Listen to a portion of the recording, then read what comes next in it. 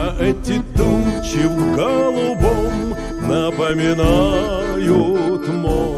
Под мелодию одной из самых популярных и известных песен вальсируют самые лучшие танцевальные коллективы Самары. Никита Шлыков в столь масштабной акции принимает участие впервые, волнуется. До флешмоба он вместе со своей партнершей разучивал движения на базе своего коллектива под руководством опытного педагога. Волнуешься, тебя прям разрывает изнутри. Хочешь танцевать все в наилучшем виде. Я помню цену победы наших прадедов в этой войне. Ребят, давайте пройдем подсчет. Перед генеральным прогоном несколько репетиций. За номер участников, а их чуть больше 200 человек, отвечает руководитель народного ансамбля эстрадного танца «Грация» Наталья Бояркина. Дети понимают с полуслова, поэтому работать несложно, отмечает Наталья. Главное – донести настроение прекрасной песни, которая была выбрана для флешмоба не случайно. В песнях военных лет очень часто мы можем наблюдать именно этот ритм вальсовый.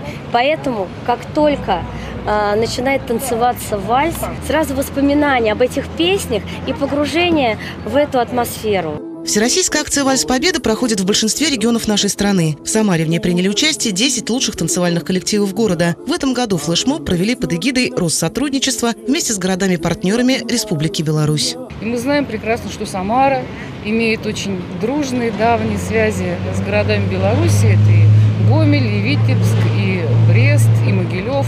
А, И поэтому мы уверенно надеемся, что вот кусочек Самары, а, улыбки самарских детей, их память, их посвящение Великой Победе, танец а, войдет в большой такой вот калейдоскоп, в большой общий ролик наших двух государств.